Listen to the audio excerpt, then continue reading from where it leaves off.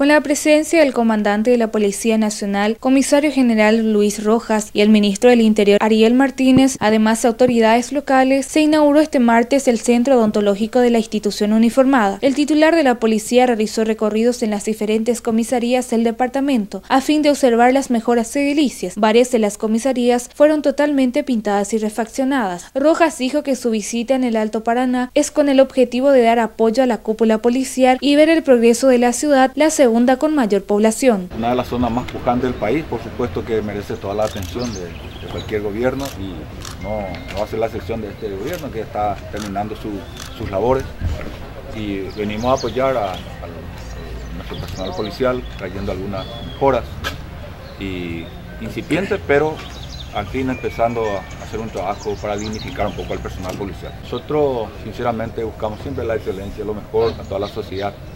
Eh, nos sentimos eh, fortalecidos, pero queremos más. Queremos que eh, la sociedad se sienta mucho más partícipe de su policía.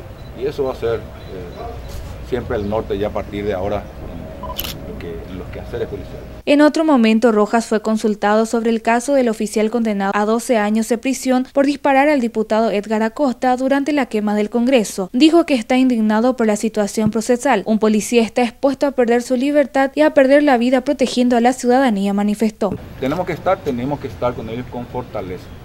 Y también nosotros no estamos ajenos a aquellos que se aprovechan del uniforme y eh, desprotegen a su sociedad, también vamos a echar toda la fuerza de la ley contra aquellos que utilizan el uniforme para delinquir. Tuvieron algunas acciones en desmedro de la sociedad y de algún poder del Estado, en un momento tendrán que asumir también como el comandante. Solamente el comandante eh, trata de fortalecer al personal policial que está en servicio y expuesto todos los días al peligro.